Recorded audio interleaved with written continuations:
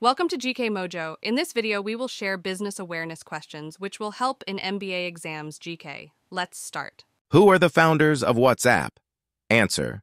Brian Acton and Jan Koum. Big Blue is a long-standing nickname for which organization? Answer. IBM. Name the first Indian businessman who found place in the cover story of Forbes magazine? Answer. Azim Premji. Boost and Crocin brands are owned by which company? Answer. GlaxoSmithKline. Asian Hotels.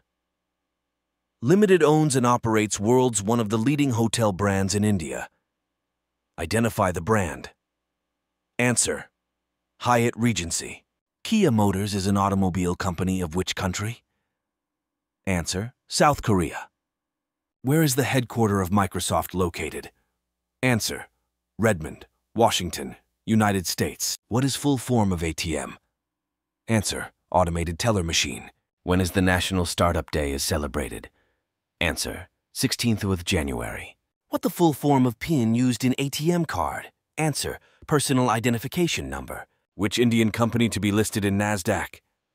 Answer. Infosys. What is the tagline of Nike, an American athletic footwear and apparel corporation? Answer. Just do it. That's all in this video. Please like, share, and subscribe. Visit us at gkmojo.com.